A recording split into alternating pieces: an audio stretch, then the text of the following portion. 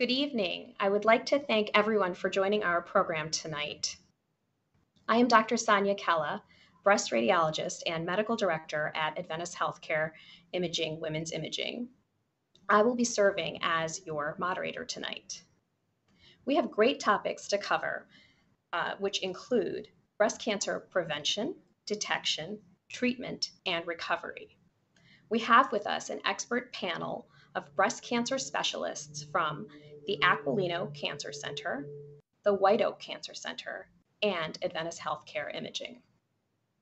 Tonight's experts are Dr. Eva Duckett, my fellow breast radiologist from Adventist Healthcare Imaging, Doctors Surupa Sengupta and Cynthia Plate, breast surgeons from Maryland Oncology Hematology, Dr. Senda Beltaifa from the Department of Pathology, Doctors Courtney Ackerman and Shannon O'Connor, medical oncologists from Maryland Oncology Hematology, Dr. Marie Gurka, radiation oncologist from Shady Grove Aquilino Cancer Center, and Dr. Luqman Dad, radiation oncologist from Maryland Oncology Hematology. And last, but certainly not least, we have with us Betsy Jenkins and Lindsey Wise from the Aquilino Cancer Center, both specializing in patient wellness.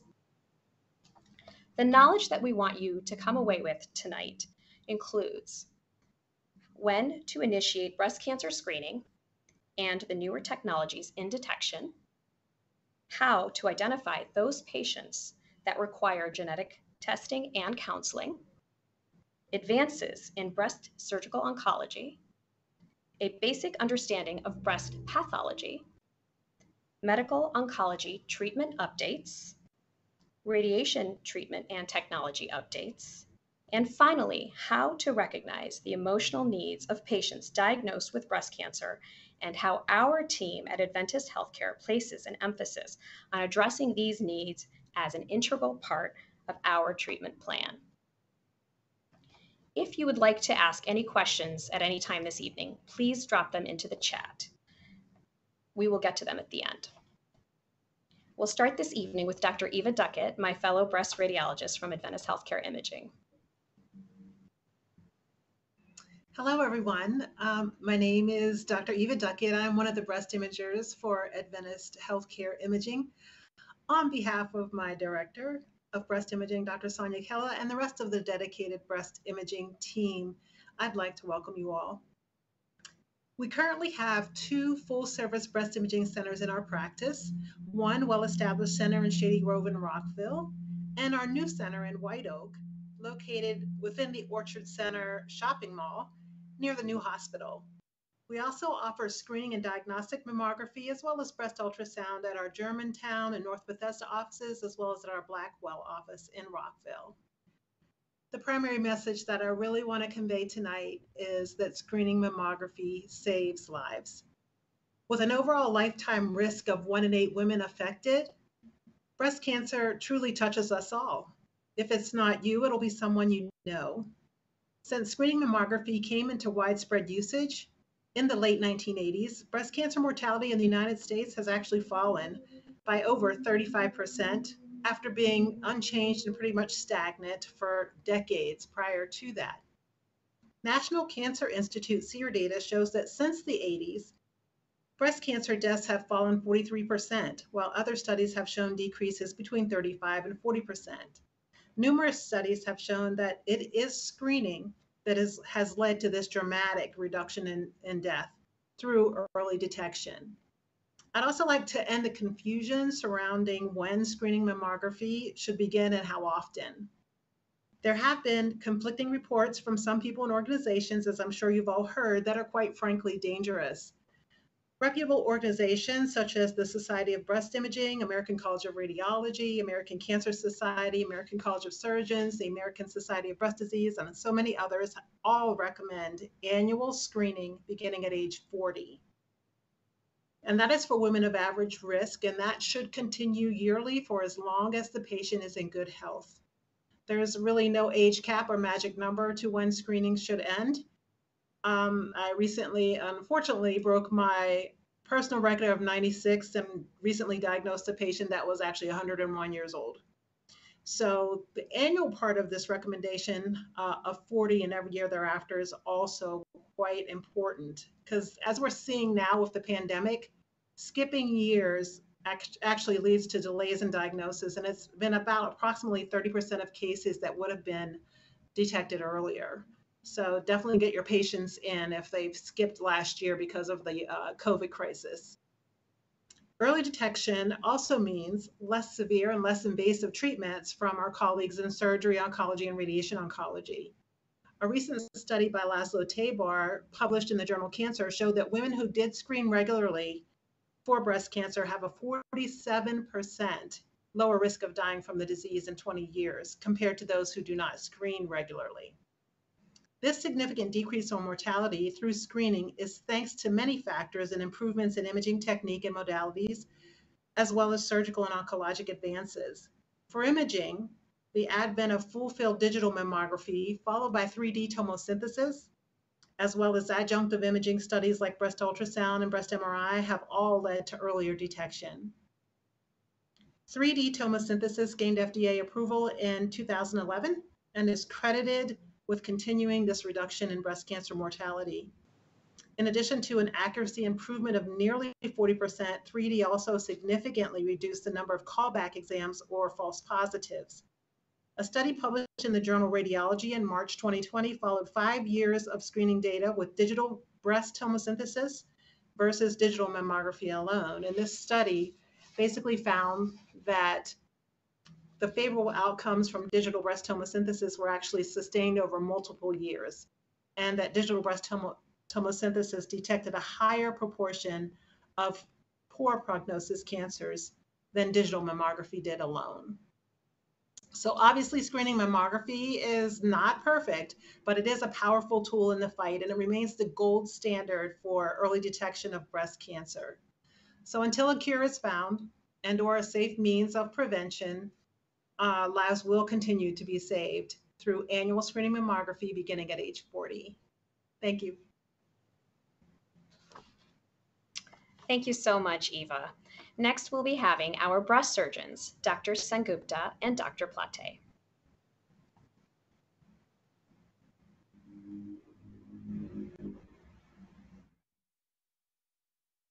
I'm currently working with Maryland Oncology Hematology. I have an office in Rockville and an office in Germantown.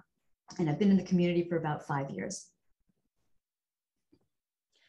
Hi, I'm Cynthia Plate. Thank you so much for coming. I'm uh, one of the breast surgeons at our White Oak location. I have been with Adventist Healthcare for about 17 years now. And I have an office in the White Oak Medical Professional Building as well as office in Laurel.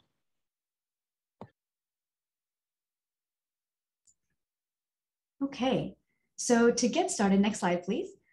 The big trend in the updates for breast surgery are actually a trend towards de-escalation of therapy. A lot of our national meeting uh, focused on de-escalation of both treatment of benign and malignant disease. The Choosing Wisely campaign, which many of you may know about, actually took a look at um, all the data from multiple disciplines and came up with guidelines for both patients and providers to see where we could effectively and safely de-escalate therapy. Next slide, please. In the world of benign breast disease, the first recommendation was no routine excision of pseudoangiomatous stromal hyperplasia or PASH in asymptomatic patients. Historically, anytime this entity was found, it was considered a high risk lesion and always surgically excised. We know now that there's a very low risk of upgrade for this particular lesion. And in most cases, unless it's associated with a mass or atypia, can be left alone and monitored. There is also a guideline to not excise routinely uh, biopsy proven fibroadenomas that are less than two centimeters. In general, a lot of women, especially our younger patients, will actually resolve these fibroadenomas if they're less than two centimeters. And the ones that do not change do not need to be excised at all. The third recommendation was to not take women with breast abscesses to the operating room unless uh, percutaneous therapy had been tried first. Now, percutaneous therapy is basically either an I&D in the office or a needle aspiration.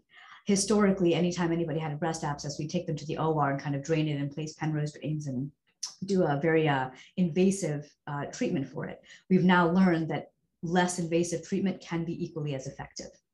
Um, going sort of along with what Dr. Duckett said, there's a recommendation to not perform screening mammography in asymptomatic women who have a life expectancy of less than five years.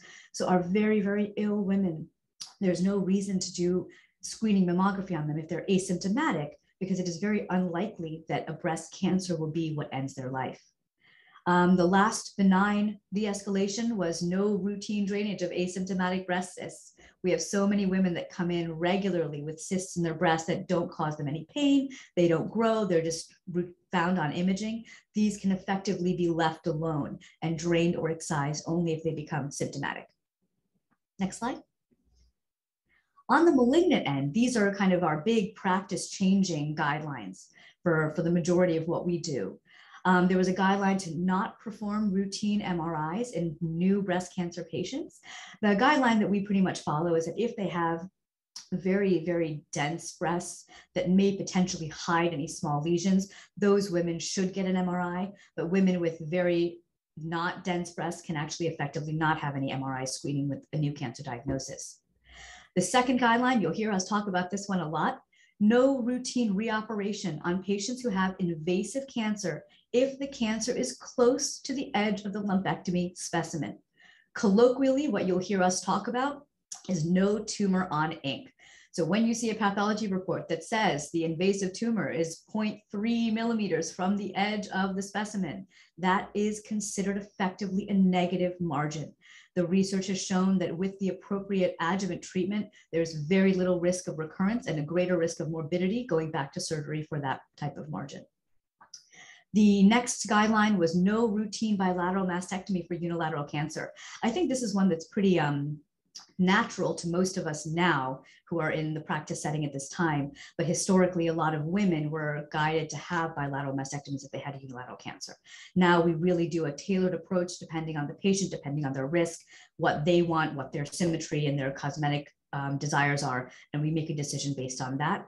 But there is no routine recommendation to remove an unaffected contralateral breast. This next guideline is also practice changing for us no routine sentinel lymph node biopsy in women over 70 with early stage hormone receptor HER2 negative invasive cancer. It was proven at this point that the risk of axillary recurrence was extremely low. And we can basically make all the treatment decisions we need for the most part for these women who are postmenopausal without any axillary surgery, which spares them any axillary morbidity. Um, we are also moving away, and this is a little bit, the data is still being reported on this, from performing axillary dissections in uh, patients who are having mastectomies who have one to two positive sentinel lymph nodes. There is a trial that we follow now called the Z11 trial, which many of you are familiar with, which allows us to remove only one or two lymph nodes in patients who have lumpectomy. And even if they have cancer in those nodes, we do not have to go back for surgery in those patients. That data has now been rolled over to mastectomy as well. And these are pretty practice changing for us to allow us to de escalate therapy and therefore decrease morbidity surgically in a lot of our patients. Thank you.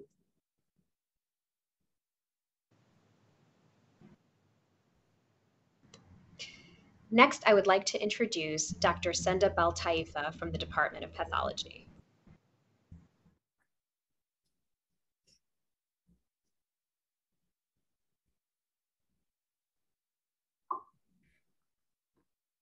Yes, good evening, everybody, and welcome to today's presentation.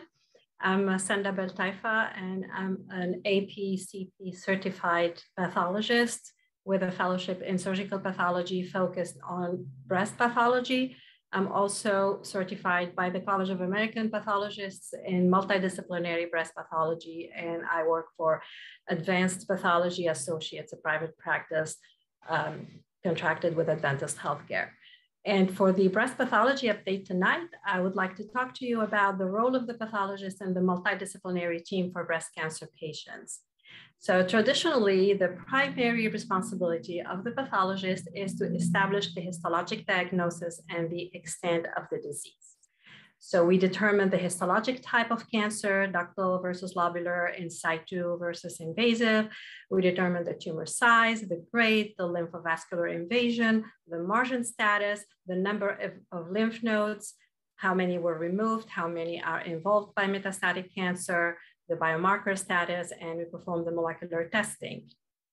The pathologist is also the custodian of the tissue, whether it's a needle core biopsy or an excision specimen lumpectomy or mastectomy, we are very actively involved in the tumor tissue journey. We look at pre-analytical variables such as cold ischemic time and fixation time that will impact the accuracy of the results. We also look at analytical variables and we help ensure the integrity and the preservation of the sample for downstream molecular testing. Uh, there are a lot of tests we perform in-house and some of the testing uh, is sent, being sent out to reference laboratories we perform a comprehensive panel of breast cancer diagnostic assays that our colleagues, the clinician, um, will use to personalize their treatment to their patients. So we basically, in this day and age, we practice precision pathology for precision medicine.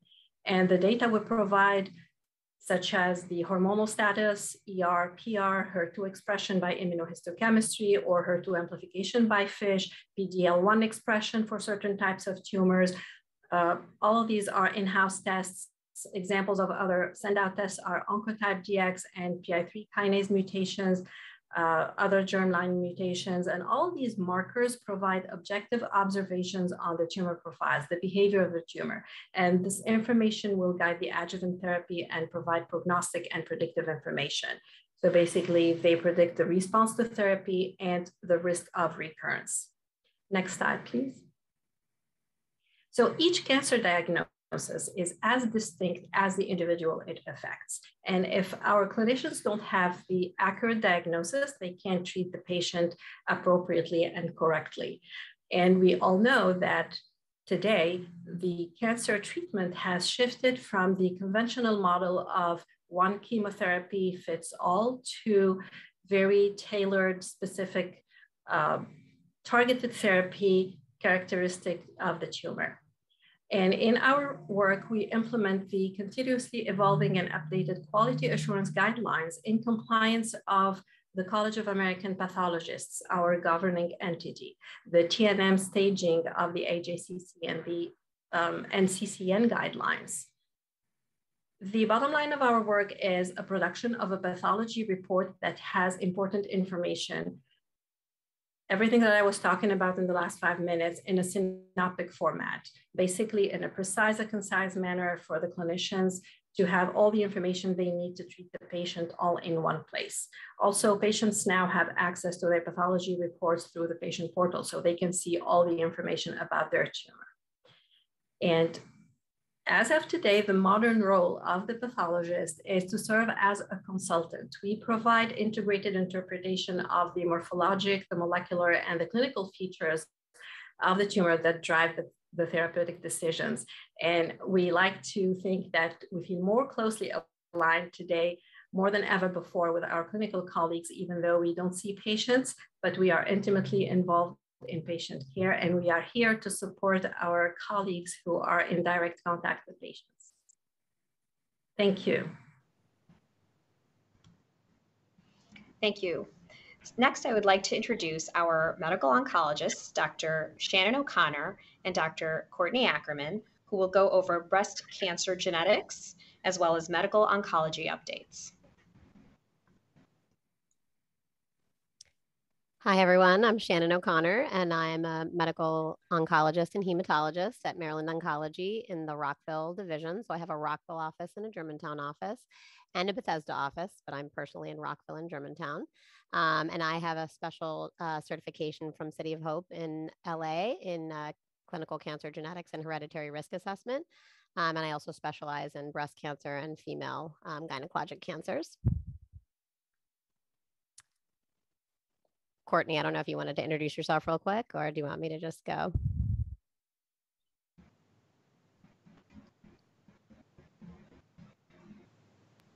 Go ahead, I can do it after you're done. Perfect. Well, I will start with the hereditary cancer genetic portion of the talk. Um, so I want to first focus on the fact that only about 10% of all breast cancer cases are hereditary i.e., if we test all comers with breast cancer, we'll only find an identifiable gene in 10% of the cases. So most cases are actually sporadic. So most people don't realize that, but only 10% of the time you're going to find a cancer gene related to the cancer. 20% of the time, there is something called familial breast cancer. Now, what does that mean? That means the patient has a really strong family history, uh, but we can't actually identify a gene that caused their cancer. Um, we think that that's probably related to either how the genes line up next to each other or these little uh, mutations called single nu- nucleotide polymorphisms or SNPs.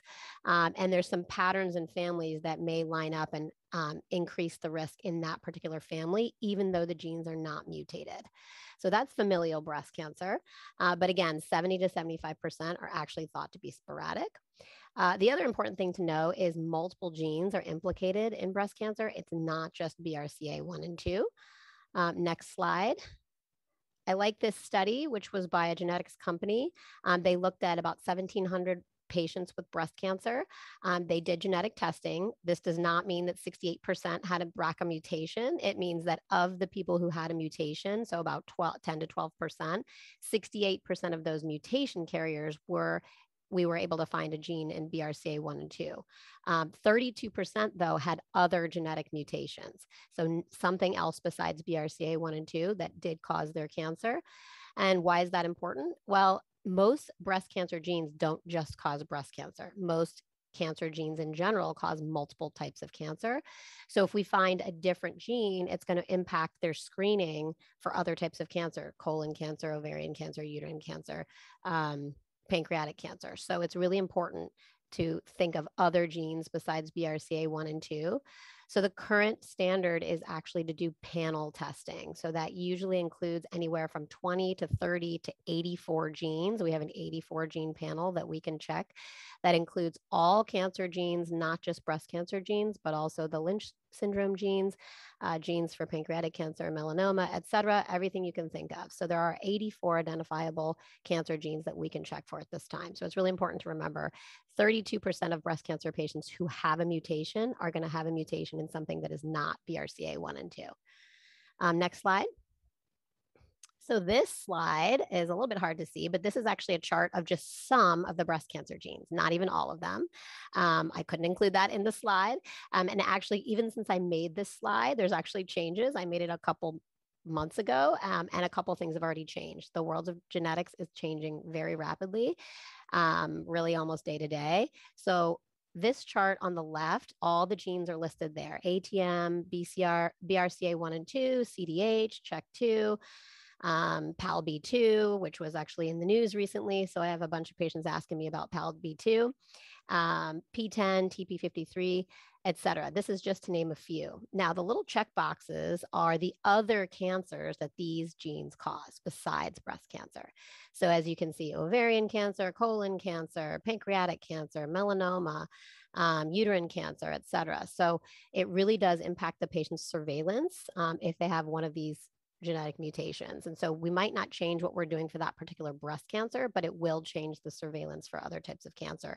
It may even be something as dramatic as removing their ovaries or removing their uterus and ovaries or frequent colonoscopies, including one to two years getting a colonoscopy. So it makes a big difference. Some of the things that changed on this chart in particular is the gene NBN, which actually has been downgraded as to being not associated with breast cancer and not associated with any other cancers. And that's a new update just from a month ago. Um, so that's actually been taken out of the guidelines and it's going to come off of our panels. We're not even going to check for it anymore. So it was a gene that we used to think was um, going to predispose people to breast cancer um, and actually sarcomas. And now it's actually been downgraded as being probably not a huge deal. So we're not even going to check it anymore. Um, so anyway, so this is ever changing. Um, so again, it's really important to have your patients, if they have a family history or if they even have a history of cancer, to meet with a genetic specialist um, and decide if they need genetic testing if they haven't had it. Next slide, please. So this is who needs to consider genetic counseling or testing. I don't have a slide big enough for this either because there's a lot of criteria and they're really hard to remember, but I tried to summarize it into something you could remember, which is anyone with breast cancer, any person with a history of breast cancer ever in their life, it doesn't matter how old they are, should consider genetic counseling and testing. Um, and that is a recommendation by the American College of Breast Surgeons uh, because, again, like I said, some of these genes are going to cause changes in their surveillance of other types of cancer. So it may not change their breast cancer management, but it may make a big difference in preventing a colon cancer. Anyone with ovarian cancer needs to consider genetic testing for the same reason. Um, other most genes don't just cause ovarian cancer, but are going to cause something else. And there's some treatment um, options for breast and ovarian cancer that are going to change depending on if they have a genetic mutation. Most patients with metastatic cancer, for the same reason, we have these drugs called PARP inhibitors, and they are only indicated in patients with metastatic cancer who have a specific gen- genetic mutation. So, all of our metastatic cancer patients are getting genetic testing at this point, mainly for treatment decision purposes. Um, and now this is the more complicated category, which is the family history of. So maybe your patient doesn't have active cancer, but does have a family history of cancer. There's very different guidelines all over the place, but the way I like to summarize it is just think anyone with a young breast cancer in their family, not themselves, but in their family. So you could use the age 45 or 50. For breast cancer, it's really under age 45. For other cancers, it's under the age of 50. Um, so anybody in the family with a young cancer, consider sending them for genetic counseling. Anybody with a family history of ovarian cancer, same thing, because BRCA1 and 2 and Lynch syndrome are pretty common um, in ovarian cancer. So even if it's just in the family, think about sending them for counseling. Again, anybody in the family who has metastatic cancer, um, our genetic carriers tend to have more aggressive disease and hence tend to either present or eventually end up with metastatic cancer. So if that's in the family, you need to think about a genetic mutation. Um, multiple family members on the same side of the family with a cancer, any cancer, doesn't really have to fit a pattern. And we don't expect you to know what the pattern is, but just three cancers on the same side of the family is a bit of a red flag. Um, and there's also some new guidelines around the Ashkenazi Jewish population. Really, any Ashkenazi Jewish patient with any family history, which is almost everybody, right? So any family history anywhere of any cancer, they need to consider genetic testing because there's a really um, high prevalence of BRCA1 and 2 and some other particular genes in the Ashkenazi population um, that we really don't want to miss. Um, next slide. So, key takeaways are again, most cancers are not genetic, um, but you should really think about referring to someone like myself or another genetic specialist if they have a strong family history or even any history of, of cancer themselves or in their family. Um, the other important thing is don't forget to actually collect a family history. People forget that all the time. So I know you're busy doing other things, but just a quick ask Does anyone in your cancer have family? Anyone with ovarian cancer?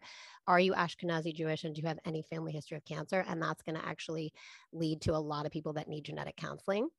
Um, and again, most cancer genes are going to cause other types of cancer, and most breast cancers are not only linked to BRCA1 and 2, but there's a lot of other genes that need to be tested. And anyone who had testing prior to 2014 really needs to consider update testing because we really didn't know about all these genes. Like I said, just even a couple weeks ago, we had a change in our recommendation. So anybody who had old genetic testing probably only had BRCA1 and 2, probably did not get a panel. Um, so therefore, they would need update testing. Um, and not all the BRCA1 and 2s were the complete gene sequence. So again, that needs to be considered. So if they had remote testing, consider update testing or just refer them to someone like myself, and we can decide if they need update testing. And that's all for me. Thank you.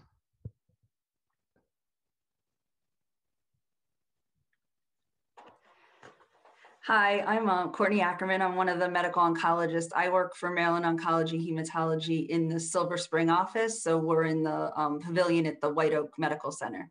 So I'm um, also certified in genetics and do a lot of genetic counseling as well, but I'm going to do the medical oncology updates tonight. Um, I tried to make it succinct and just talk about kind of the newest, latest, and greatest things that we have in our field because it does change quite a bit and quite frequently. Um, next slide. So um, I wanted, there have been two recent um, sort of recent-ish new updates in terms of um, neoadjuvant chemo. So chemo um, before surgery to try to um, shrink the tumor, downstage the axilla, and allow for um, better surgical outcomes as well as sort of real-time assessment of how the cancer is responding to the treatment. So one of the newest ones is for um, triple negative breast cancer. It's a um, trial that was called Keynote 522. So the details aren't really important, but the biggest thing to know is that um, in triple negative breast cancers that are greater than two centimeters or greater than one centimeter and lymph node positive, we have this new option of not only giving chemotherapy in the neoadjuvant setting, but adding immunotherapy, pembrolizumab to it. So um, as most people know, triple negative breast cancer is one of the more aggressive um, higher risk of recurrence types of breast cancers. So having a new tool in our toolbox to try and help these women achieve a cure is really been a huge, a huge advance um, and something that has been practice changing in the last few weeks. It really was just approved just a few weeks ago. Um, another subset of women that tend to have more aggressive cancer is our HER2 positive disease.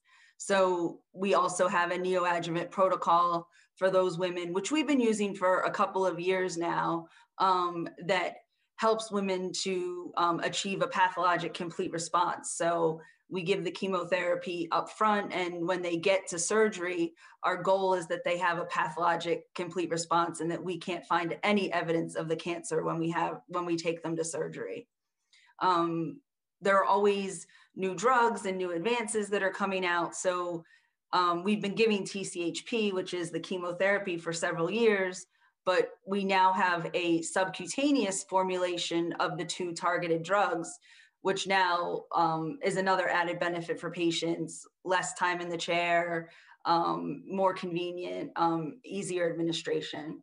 So um, next slide. Um, so adjuvant therapy for um, pre or for hormone positive women. So there are some updates recently in that as well. So the last few years we've been doing um, um, in high risk premenopausal women, we've been doing ovarian suppression with their hormone therapy instead of just putting on tamoxifen. So if we identify women that are at higher risk of recurrence and that are young and premenopausal, we have the added um, option of giving them ovarian suppression with their hormone therapy. Um, one of the newer things that came out within the last month or so um, was the Monarch E trial, which is looking at adding a drug that we've typically used in the metastatic setting, adding that in the adjuvant setting, so the post-operative setting, to women that have high risk, early stage, you know, node positive, hormone positive breast cancer. So this is also been a huge advance and something that's been really exciting for us oncologists that treat a lot of breast cancer. Um, then in these women that have node positive disease and high um, Ki67 that we can give them in addition to just standard hormone therapy, we can add in this drug to improve their progression free survival and hopefully their overall survival. Um, so this is one of the newest things that we've started doing and it um, we give this for two years and then continue on with the standard hormone therapy after that. Next slide. So just a couple of slides about um, metastatic disease. So I broke it down by hormone positive and then HER2 positive and triple negative. So just um, a few little blips about each. So um, as Shannon sort of alluded to before, um, both germline genetic testing to look for targeted mutations is very important in anyone with metastatic cancer. Also, genetic sequencing of the tumor tissue itself is extremely important in looking for targeted mutations and um, ways to personalize treatment for patients based on the pathologic and molecular characteristics of their cancer. So we've been using um, CDK4-6 inhibitors for a while. Those are the class of drugs I was just talking about. So we've been using them combined with hormone therapy for quite a number of years in hormone positive um, metastatic disease women. Um, there's also a mutation that's called PIK3CA that has a targeted oral drug that we can use for hormone positive metastatic cancer. And also um, that we talked a little bit about before was PARP inhibitors. So in women that have a BRCA1 or BRCA2 mutation, um, we have targeted oral drugs that work extremely well in those women to help treat their metastatic um, breast cancer. Next slide. So in um, HER2 positive disease, we have um, lots and lots of drugs in this arena, which is really great. Um, you know, even probably 10 years ago, HER2 positive disease was considered to be a bad thing, but now I, I really consider it to be a good thing because we have so many targeted options for these women um, through multiple lines of therapy. So we have um, some oral options with um, and Xeloda, and those are especially, that regimen is especially useful in women with brain mets. It crosses into the blood-brain barrier. Um, we have a um, antibody drug conjugate, which is Enhertu that um, can be used right now in the third line setting, but there's studies ongoing looking at it in the first line setting. And we actually have that trial open in our office, which is a really exciting trial looking at moving this great drug up into earlier settings for these women with HER2 positive metastatic disease. Um, and we also have other drugs. There's another drug called Margenza, which is also a targeted drug for HER2. So you know, the traditional ones that people have heard of, Herceptin, Perjeta, we have so many more drugs now besides just those that we can use in these women to really um, keep them being treated more like a chronic disease where we can really treat them for years and they can have good quality of life and and extension of their life with all these new available treatments that we have and then in the um, triple negative setting, triple negative still remains one of the more difficult subtypes of breast cancer to treat. Um, again, you know, sequencing of the tumor for targetable mutations, as well as germline sequencing to make sure they don't have a BRCA1 or BRCA2 mutation is really important. When we do um, the sequencing of the tumor tissue, they look at most of the labs that we use look at 500 to 600 different genes, um, molecular mutations that can be found in cancers. So um, some of the you know most notable ones are tumor mutational burden high, NTRK fusion, BRCA1 and BRCA2 that we talked about, and then MSI high. So those are some of the notable ones that we have targeted treatments for those particular mutations.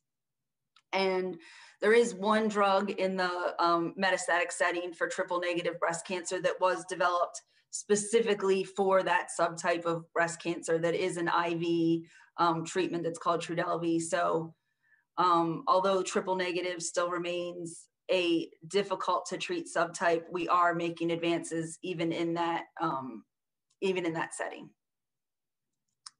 Thank you. Thank you very much. Next, I would like to introduce our specialists from radiation oncology, Drs. Marie Gurka and Luqman Dad.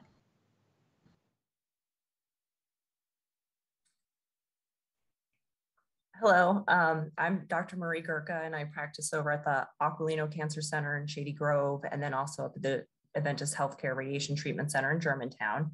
And I would like to just give a few quick treatment updates today. I don't have any slides to share, so I hope that's okay with everybody. Um, but the main thing I would like to share um, with you all is really the trend in treatment for women with early stage breast cancer, um, women who are being treated with breast only radiation after lumpectomy.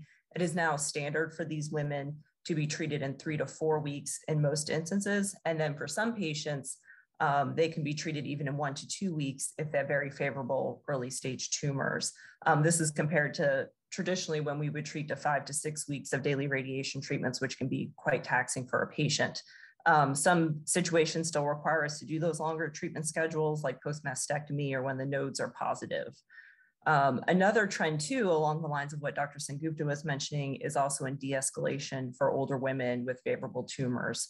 Um, we now know women more than 70 with hormone positive stage one breast cancer uh, can often skip radiation after lumpectomy if they're going to be taking an aromatase inhibitor, um, which reduces estrogen in their bodies. Um, and they can have a, if they do the hormone therapy, the risk of um, recurrence is fairly low.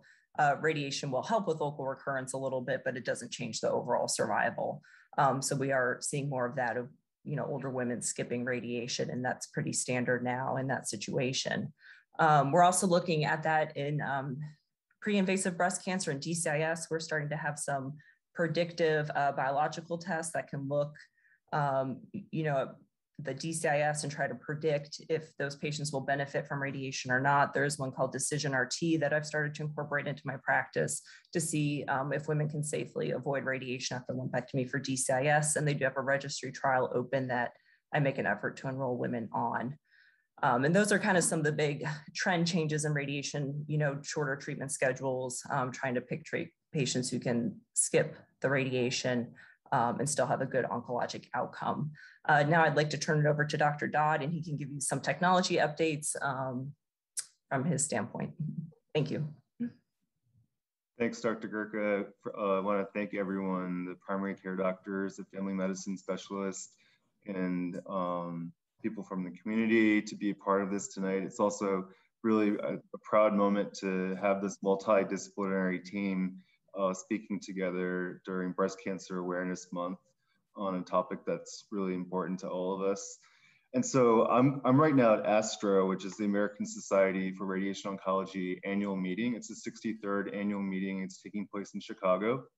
And just as Dr. Gurka has helped highlight, there there are four um, repetitive sort of take-home points that are, have been recurring at this meeting. The first is the relative equivalence of the shortened courses of radiotherapy compared to conventional.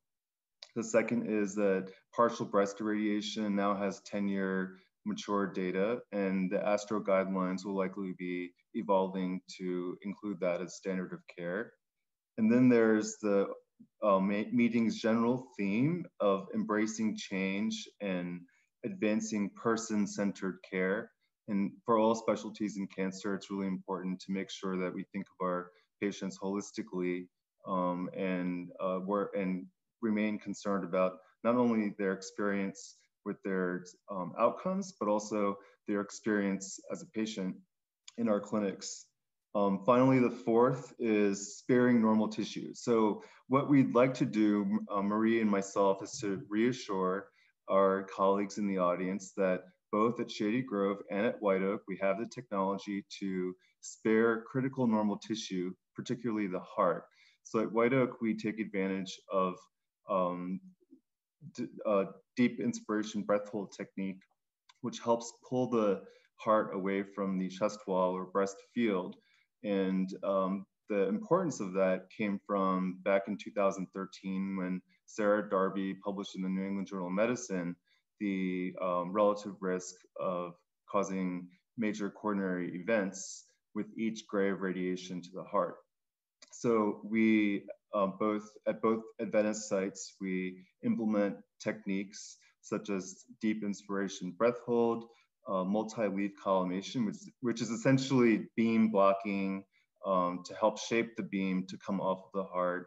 And third, that I know Dr. Gurka does in her site is prone breast. So those are three different ways that can be implemented. And uh, we also at MOH have an affiliate partnership with the Maryland Proton Treatment Center.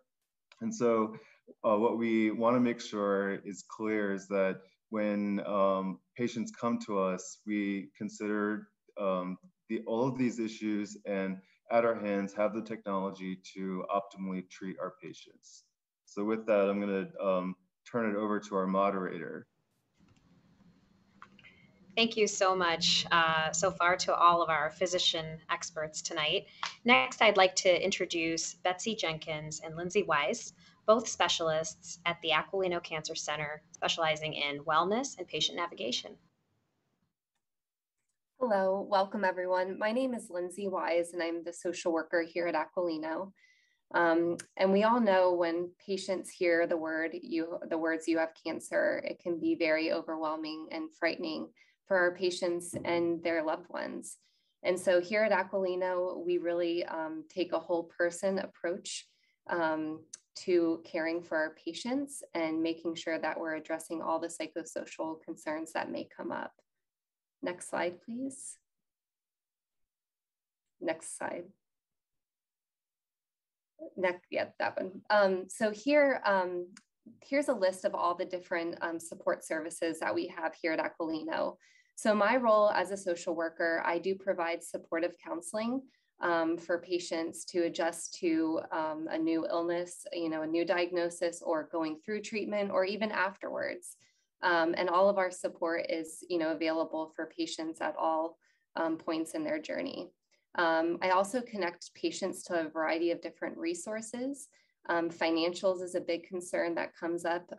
oftentimes patients aren't able to work. and so connecting them to a lot of different financial support um, and then also offering uh, caregiver and family support. Um, we also have a registered uh, dietitian, Patty, um, and she helps our patients not only with weight loss or weight gain, but also with um, addressing any um, uh, you know, taste changes that may come up while they're going through treatment or um, any side effects that they may be experiencing.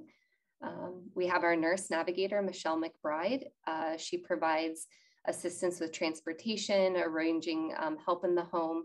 Um, and she also started a wig program here for our patients um, through eBeauty, which has been a great success.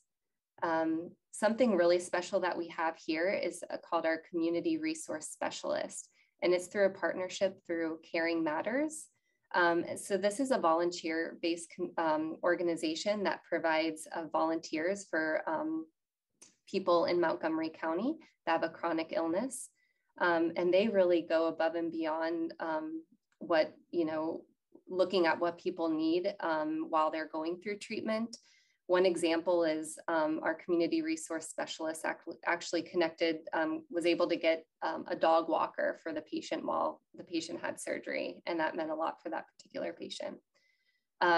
we also have a patient experience coordinator um, and he is ensuring that all of our programming and supports um, are meeting the needs of our patients by making um, uh, calls to our patients. Um, and then we also have our wellness program coordinator who makes sure that patients are able to access our um, programming and making sure that they're able to register without any um, issues. Thank you. Thank you, Lindsey. Um, I'm Betsy Jenkins, and I am the Wellness Program Manager, and I'm also a counselor uh, here at the Aquilino. And I wanted to talk a little bit about our programming that supports the psychosocial and emotional needs of breast cancer patients. The slide provides a full list. So over the last year and a half, we have developed um, sort of a wide range of mind, body, spirit programming. But in particular, I want to talk about two tonight. Um, yesterday, we had 11 women here in our Center for Healing, along with about 10 stylists from the uh, Temple Paul Mitchell Beauty School, and over 100 wigs for women to choose from.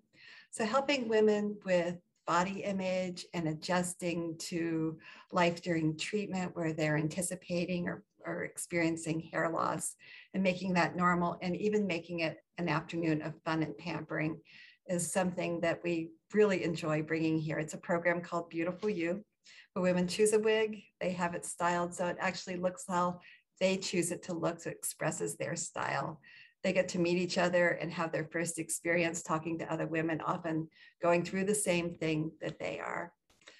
Um, the other piece I wanted to talk about is the need for connection to others who really get what you're going through. So your family and your friends can provide the most wonderful support, but often they don't really get what you're experiencing. So we partner with Hope Connections and we offer a program that is a four session support group for newly diagnosed patients.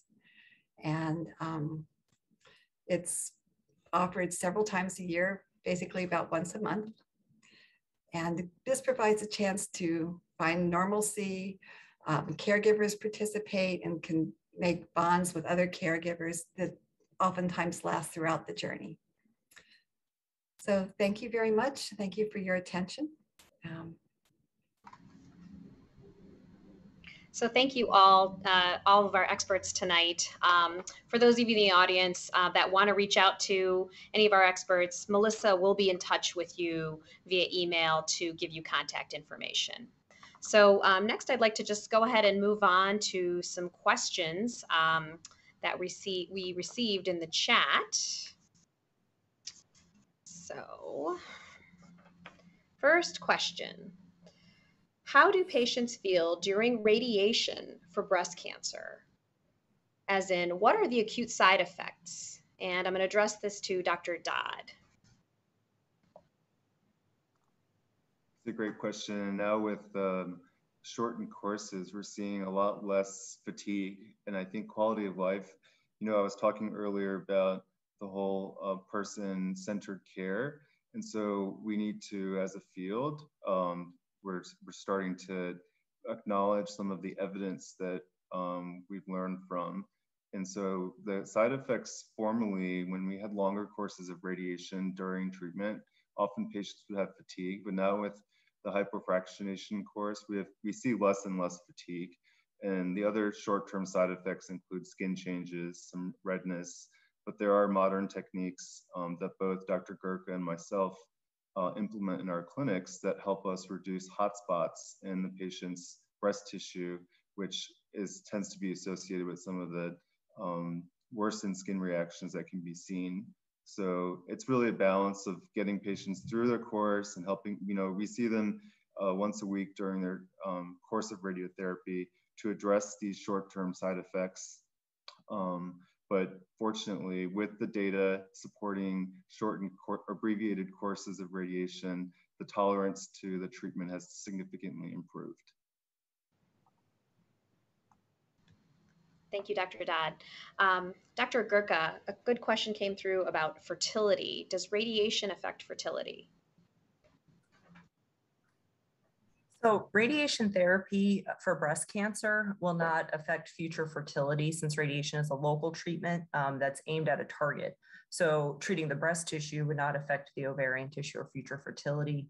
Um, in the treated breast, if it is after lumpectomy, it can affect um, the ability to breastfeed, uh, but the contralateral breast um, would be unaffected.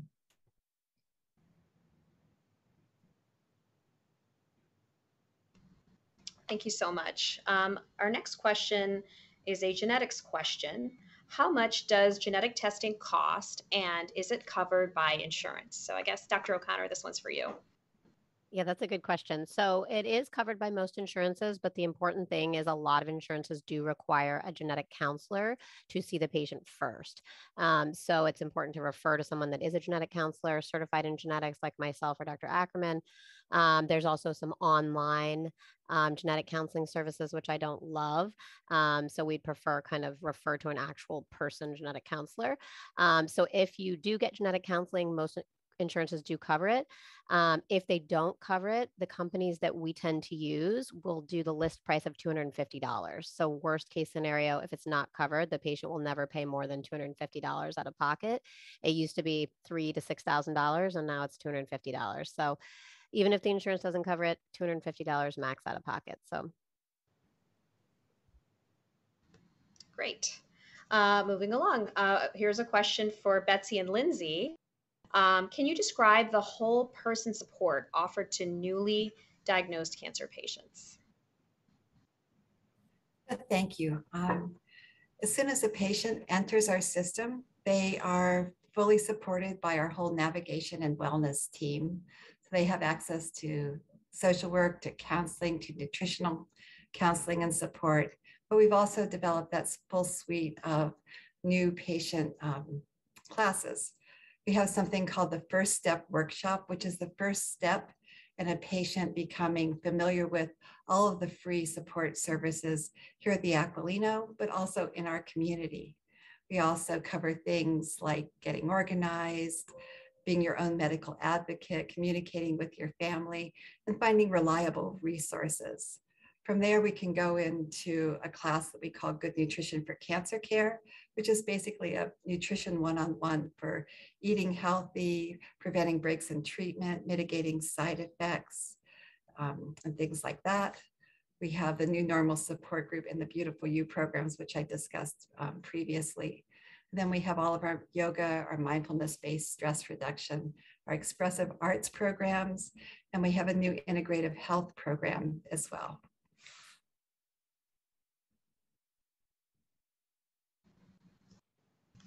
Okay, wonderful. Um, one last question, and I guess I'm going to um, put this forward um, to um, our surgeons.